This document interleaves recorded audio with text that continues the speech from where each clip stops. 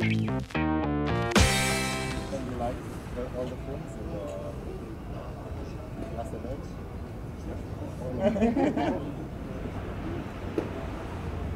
welcome to Critics Week, and we are very proud for you to be there because it it's very important for us, and I think it hope it will be important for you because you are members of the jury Revelation, what we call young critics. You are, but you're also real critics, and uh, it's important because, as you know, Critics Week is semaine de la critique. So the person who are in charge of select the film, the selection committee, are film critics and also the, the institution who was in charge of Semaine de la Critique is what we call Syndicat Français de la Critique. What I expect from Cannes. It may sound obvious, but to see great films and to, great, to see great cinema, I want to meet face to face some directors that I admire and to enjoy the whole experience.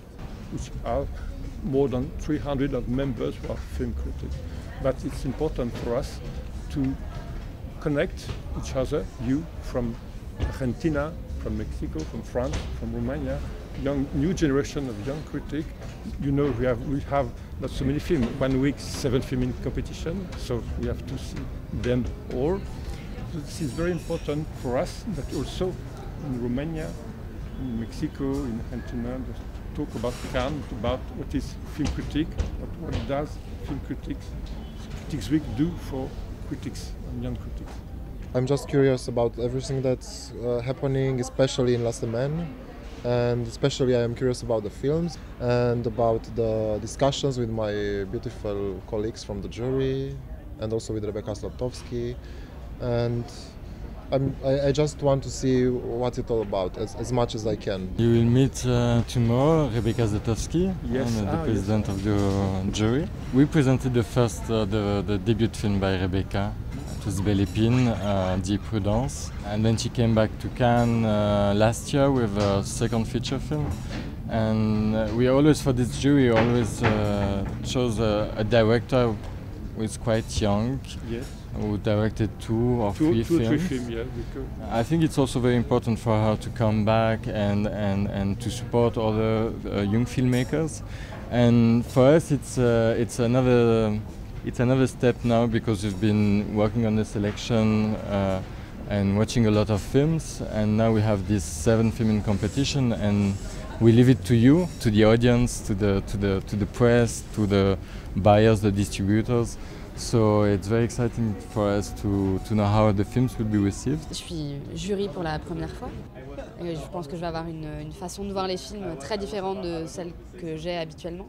On est, on est encadré par une cinéaste aussi, donc ça va être intéressant de voir, euh, de voir elle, euh, ses points de vue, euh, enfin, le, le point de vue qu'elle peut avoir sur les films qu'on va être amené à tous voir pendant cette semaine. just wanted to, to, to add that all the prizes are very important uh, for the filmmakers. It's important for themselves, it's important also, it's a great help for them then to, to get visibility and to have possibility for their films to be released uh, theatrically uh, in different countries. So more than just uh, an, an artistic choice, it's also a very important uh, prize for the film and for the, for the director. I expect something huge. Uh, I expect to uh, get in touch with interesting people from all around the world, talk about films, see films, and try to absorb as much as I can from this enormous film experience, which I've always expected to meet. So I'm enormously happy. I'll take whatever comes. Je suis, aussi très contente de, travailler avec mes trois euh, co-religionnaires parce que c'est vraiment hyper intéressant, je trouve, de, de se retrouver avec des gens dont c'est en- dont c'est le métier ou en passe d'être le métier, ou voilà, de réfléchir à ce que c'est la critique aujourd'hui, ce que ça représente un, jury de critique face à un film, qu'est-ce qu'est-ce que qu'est-ce qu'un jury de critique peut dire d'un film et pourquoi il va choisir tel film ou tel autre? Donc ça, je trouve ça vraiment, euh, vraiment passionnant. I expect to grow up as a critic, as a film critic, because I'm very intuitive till now in my profession. So I expect to being a greater critic uh, going at the end of this experience. Because in Romania, like for a lot until a few years ago, there was no interest, you know, from film critics uh, to uh, theorize, to know theory, to read theory of cinema, and we, we didn't have like translations. We didn't have almost even Bazin was translated like in the 70s in a very abbreviated, uh, you know, book. It's the same in Mexico. no, that's in fact the problem. There's a lot of people interested in films, but we don't have a film studies program in the university. We don't have a specialized media. We don't have like Gallardo Cinema Positif.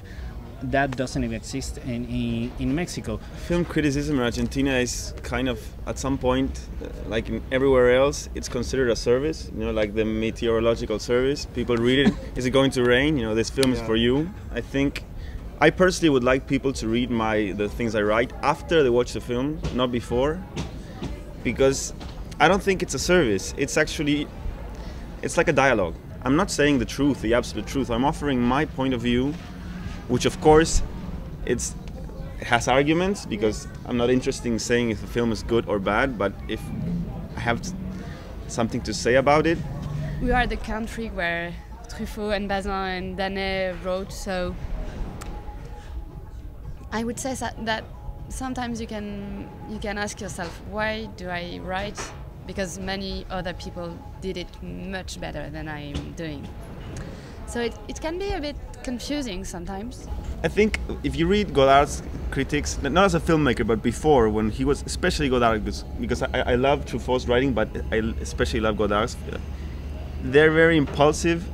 So if you turn that into tradition, like solidifying it. Yes, it's gonna be it loses.